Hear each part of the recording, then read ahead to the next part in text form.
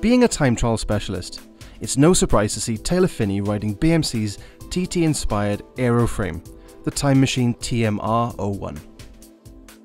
With its fork-integrated front brake and chainstay-mounted rear, maximising aerodynamics is clearly what this bike is designed for.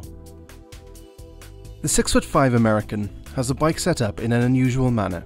A sizable head tube spacer raises the stem, with the hoods positioned high on the bars.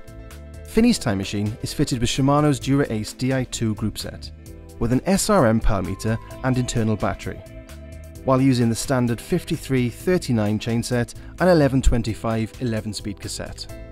The ever popular Dura Ace C50s are the wheel of choice for fast, flat stages, fitted with Continental's 25mm Competition Pro limited tyres.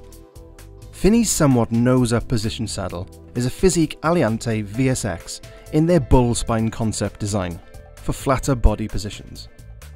A 3T ARX stem with minus 6 degree drop, 3T Ergonova Team Carbon bars, and SRM PC7 computer complete the build. There's more of the same coming soon.